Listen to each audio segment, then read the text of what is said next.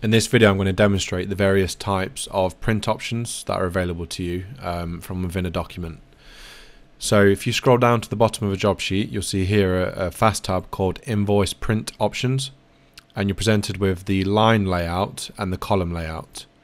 So by default the line layout is standard and the column layout is standard. So if we just take a look at how this appears it is very simply a combined list of labours and items.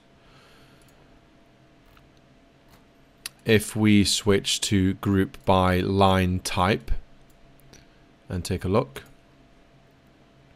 this splits the invoice into labours and parts separately uh, with subtotals for each uh, category.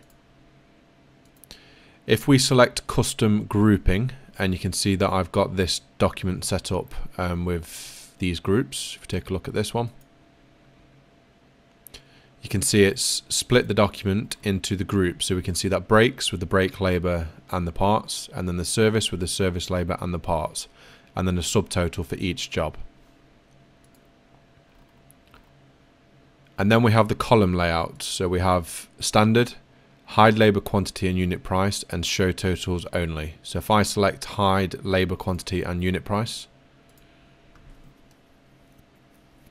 Then you can see here that the customer can only see the um, total amount of the labor. They can't see the quantity or the unit price, but they can still see the quantity and unit price of the items. If I select show totals only,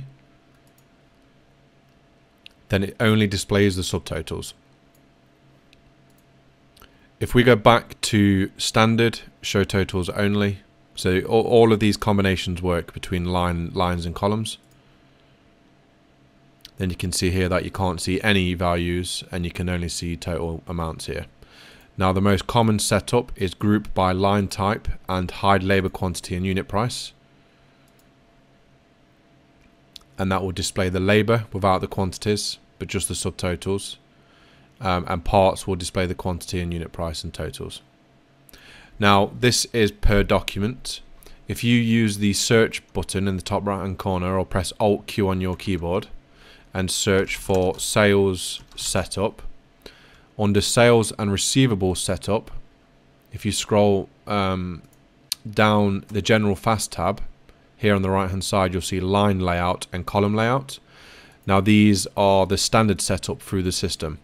Now if you change these settings here, it's not going to update every single job sheet. If you want to change the settings on the job sheets that already exist, um, you'll have to manually update the job sheets but this will apply to every job sheet you create going forwards. Um, so I hope that helps. If you've got any questions, then let me know. Thank you.